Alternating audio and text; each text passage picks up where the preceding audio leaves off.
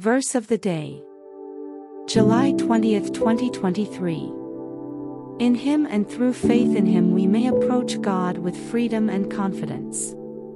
Ephesians 3 verse 12. Thoughts on today's verse.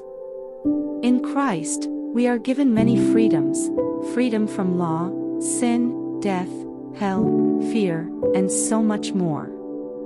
Among these freedoms, one of the most profound is the gracious invitation extended by God Himself, the Creator of the universe and the sole true and living God.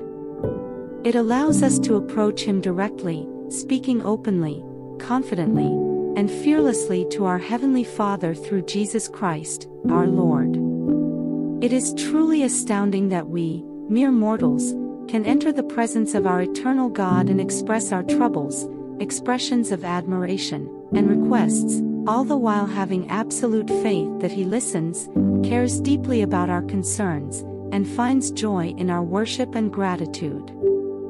Prayer Almighty and most holy God, I know my prayers would go unnoticed without your gracious, attentive concern for my requests. Nevertheless, I am confident that I am cherished as your beloved child.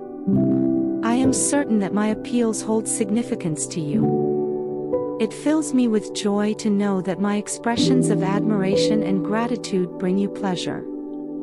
I express my heartfelt gratitude for faithfully listening to my prayers each day. I am grateful for your unwavering attentiveness to my concerns.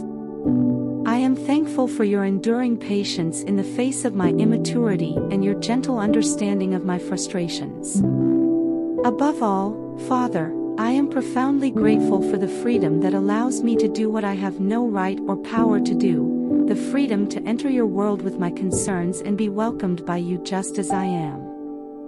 I offer this prayer in the name of Jesus, my advocate and Redeemer. Amen.